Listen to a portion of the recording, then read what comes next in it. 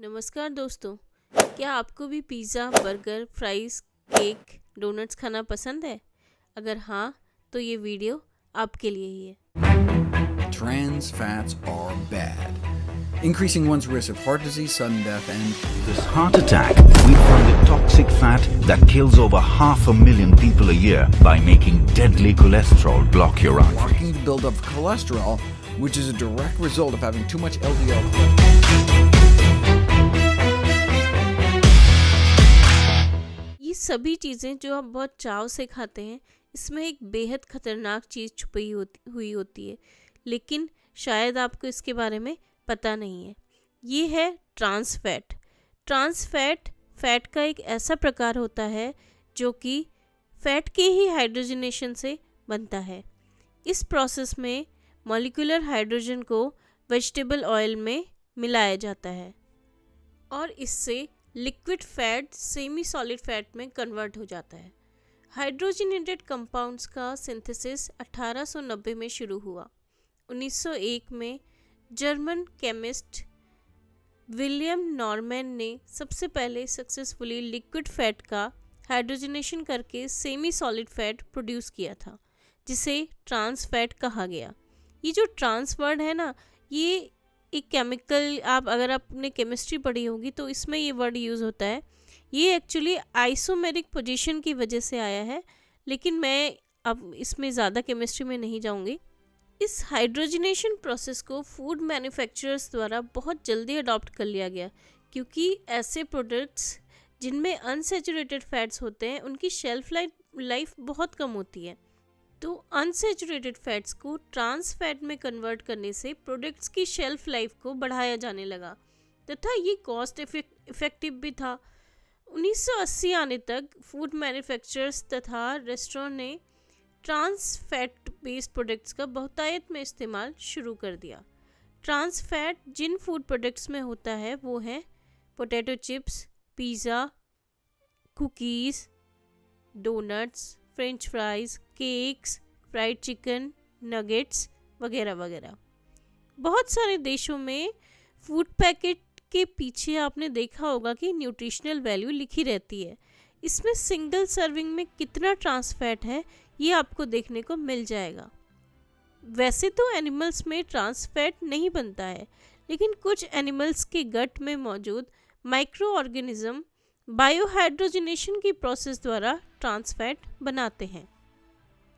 इस तरह से बना ट्रांसफैट आपको डेयरी प्रोडक्ट्स में मिल जाता है, जैसे चीज़ या बटर और कुछ नॉनवेज आइटम्स में भी।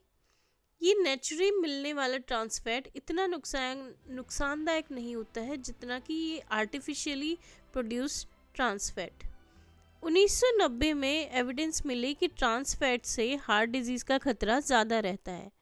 ट्रांस फैट एचडीएल यानी कि हाई डेंसिटी लाइपोप्रोटीन कोलेस्ट्रॉल के लेवल को भी कम करता है। एचडीएल का काम एक्सेस कोलेस्ट्रॉल को वापस लीवर में ले जाने का होता है। इसलिए एचडीएल कम होने से कार्डियोवेस्कुलर डिज़ीज़ का खतरा बढ़ जाता है। यह एलडीएल यानी कि लो डेंसिटी लाइपोप्रोटीन कोलेस्ट्रॉल का लेवल भी बढ़ाता है। यह कोलेस्ट्रॉल आर्टरीज की वॉल में बिल्डअप होके उन्हें हार्ड और नैरो बना देता है। ट्रांसफैट से टाइप टू डायबिटीज़ का खतरा भी बढ़ जाता है।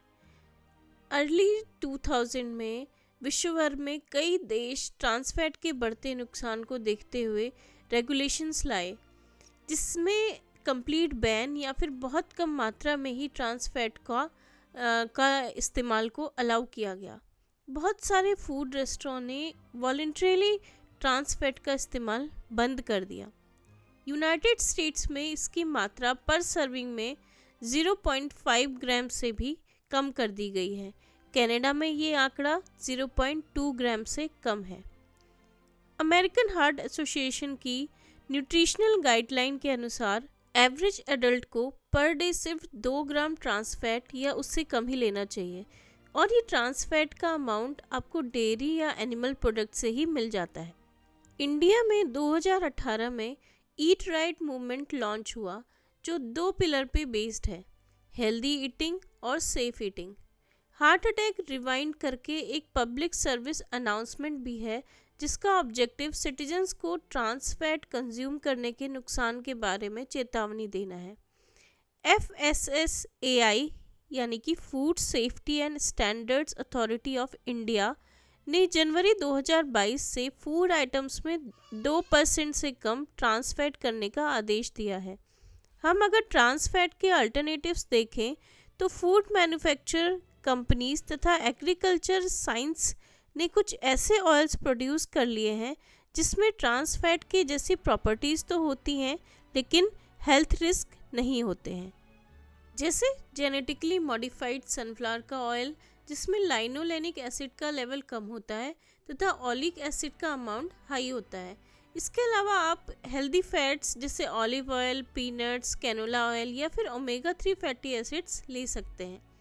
ट्रांसफैट बहुत सारी प्री मेच्योर डेथ्स के लिए भी रिस्पॉन्सिबल है। करीब 43 कंट्री ने ट्रांसफैट के लिए बेस्ट प्रैक्टिस पॉलिसीज़ इम्प्लीमेंट करी हैं। लेकिन अभी भी बहुत सारे देश ऐसे हैं जिन्होंने, जैसे लो इनकम जो कंट्रीज़ हैं, उन्होंने ऐसे कोई ठोस कदम नहीं उठाए हैं। अगर आपको इस स्लो पॉइजन से बचना है तो फ़ूड प्रोडक्ट्स के पीछे न्यूट्रिशनल वैल्यू देखकर ही खाइए।